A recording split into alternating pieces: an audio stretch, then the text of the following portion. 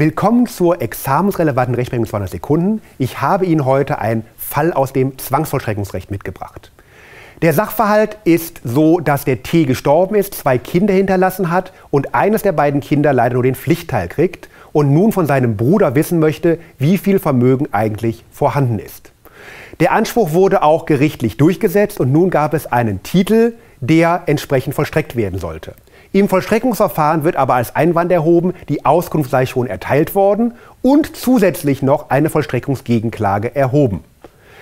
Im Verfahren 1, also der Vollstreckung, sagt der Kläger, gut, also wenn ich hier keinen Erfolg habe, weil der Anspruch erloschen ist, gebe ich freiwillig den Titel zurück und werde nicht weiter vollstrecken. Das heißt, es ist doch ohnehin kein Anlass für 767. Dem schlossen sich das LG München II und das OLG München auch an. Dass Ansprüche vollstreckt werden können, ist klar. Für nicht vertretbare Handlungen ergibt sich aus 888 ZPO, dass ich einen Antrag bei Gericht brauche, auf den sich dann der Antragsgegner auch verteidigen kann und insbesondere Einwendungen erheben kann. Der 767 ist ein eigenes Verfahren für Einwendungen, bei dem genau die Parteirollen vertauscht sind. Der Unterschied ist aber, dass hier der Titel insgesamt vernichtet wird und man den entsprechenden Urteilstenor dann auch nicht mehr fürchten muss. Der BGH prüft nun ganz sauber die Zulässigkeit. Kein Problem gab es bei der örtlichen Zuständigkeit, denn für beide Fälle war das Prozessgericht des ersten Rechtszugs, das heißt das LG München II, zuständig. Das Problem war das Rechtsschutzbedürfnis und da war klar, es war kein Missbrauchsfall, es war auch ein rechtsschutzwürdiges Interesse gegeben, nur es könnte möglicherweise einfacher, billiger und schneller sein, sich einfach nur im ersten Verfahren zu verteidigen. Die Verteidigung ist allerdings nicht wie die Berufung eine Maßnahme gegen den Titel als solche, sondern nur gegen die konkrete Vollstreckungshandlung. Damit ist es ein formal anderer Streitgegenstand und die beiden Verfahren sind eigentlich was ganz anderes.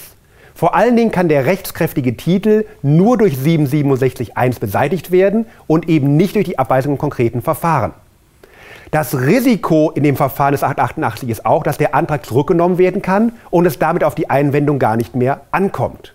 Zudem 888 hat andere Voraussetzungen. Der Antrag wäre auch erfolgreich, wenn gar nicht zugestellt worden ist. Es geht also nicht unbedingt um den Titel, sodass es auch nicht vom Inhalt gleich ist. Schließlich ist es für das Gericht auch egal, weil beide Verfahren vor dem LG München II verhandelt werden müssen, sodass das eigentlich kein Doppelaufwand sein sollte. Die Erklärung ändert in der ganzen Sache nichts, denn sie begründet nur schuldrechtliche Ansprüche und eben nicht die automatische Vernichtung des Titels. Was können wir jetzt mitnehmen? 767.1 geht weiter als die bloße Verteidigung gegen eine konkrete Vollstreckungsmaßnahme, weil der Titel insgesamt wegfällt. Eine Erklärung ändert daran nichts. Examensrelevanz eher mittel, Vollstreckungsrecht kommt ungern dran. Die Überzeugungskraft des BGH ist extrem hoch und damit sollten Sie die Entscheidung auf jeden Fall mal gehört haben. Für eine mündliche Prüfung ganz lustig. Vielen Dank.